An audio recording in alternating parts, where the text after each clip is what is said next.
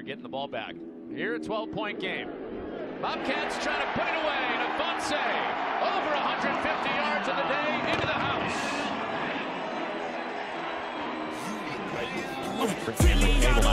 He's got Ifanse past the board, down on the other side. State drive. Gets loose, delivers a stiff arm. and- First and 10. Ifanse down the sidelines and another big play. That just tells you how special Ifanse is. As the Bobcats will start first and 10 now. McKay will give it off to his running back, Isaiah Ifanse. He's got a big hole. First down run. Ifanse now just slicing this Eastern defense up. He breaks a tackle. He's gone.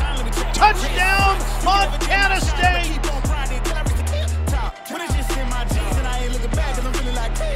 Ifanse finds a crease. Isaiah Ifanse